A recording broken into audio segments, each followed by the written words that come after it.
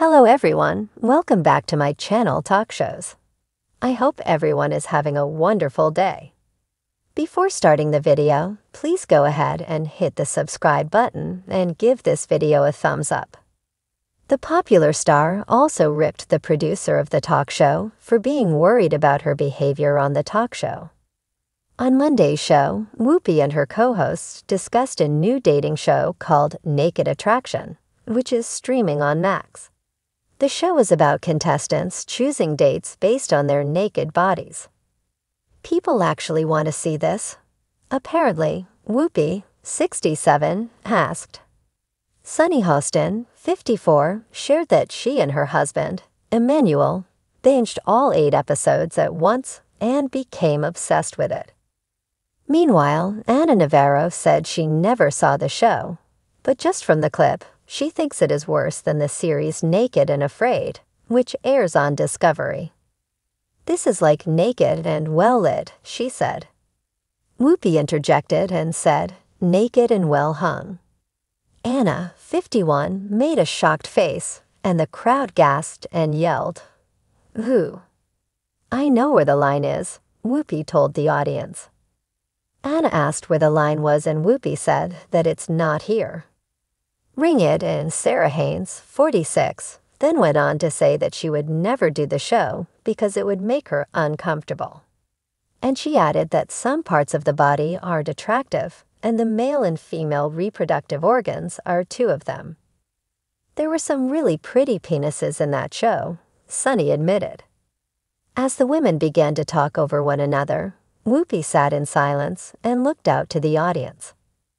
Once the topic became too NSFW, she rang the small bell in front of her to control the conversation.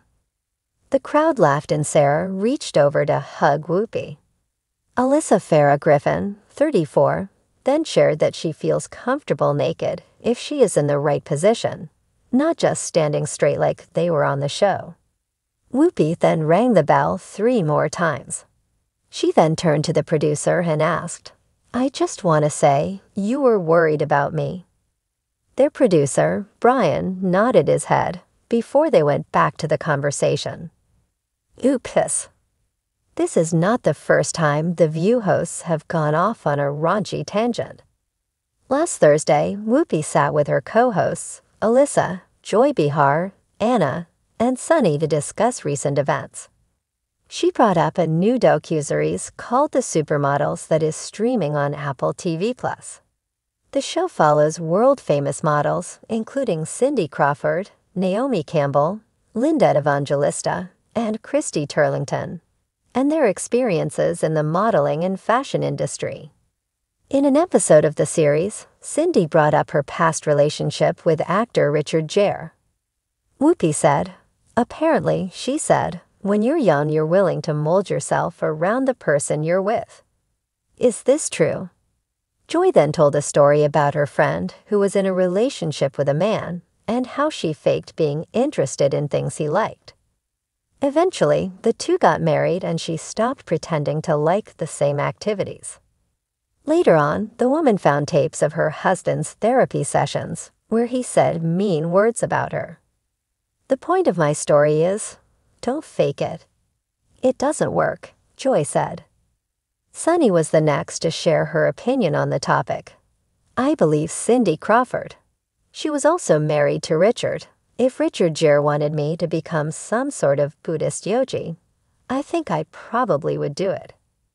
I've pretended to do a lot of things. Joy questioned Sunny. Did you really? Absolutely.